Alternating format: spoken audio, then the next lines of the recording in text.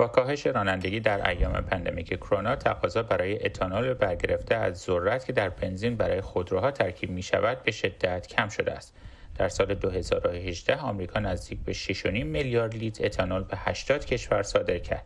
این میزان صادرات با توجه به pandemic کرونا در سال جاری به شدت کاهش خواهد یافت.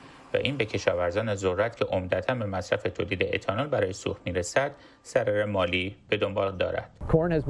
ذرت عملا کالای بازار انرژی است. قیمت آن دنبال روی نفت خام است. دنبال روی اتانول است و اتانول دنبال روی نفت خام است. به گفته انجمن سوختهای تجدیدپذیر حدود 70 کارخانه تولید اتانول در آمریکا به خاطر نبود تقاضا عملا تعطیل شدند و 70 کارخانه دیگر مجبور شدند که تولیداتشان را کاهش دهند.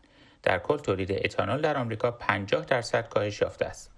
برای بالا بردن تقاضا برای اتانول برخی از قانونگذاران آمریکایی به دنبال ایجاد تغییرات در میزان ترکیب اجباری اتانول در سوخت خودرو هستند. آقای کیندرد ضرر سال جاری را پذیرفته و می‌گوید می‌تواند امسال را با ضرر به پایان برساند. در کل میزان خسارت وارده به کشاورزان آمریکا بر اثر ویروس کرونا فعلا قابل محاسبه نیست. حدود 23 درصد خانوارهای کشاورز آمریکا طی 12 ماه منتهی به ماه مارس اعلام ورشکستگی کردند. این دوره زمانی پیش از آغاز تعطیلی اجباری متأثر از شیوع کرونا بوده است.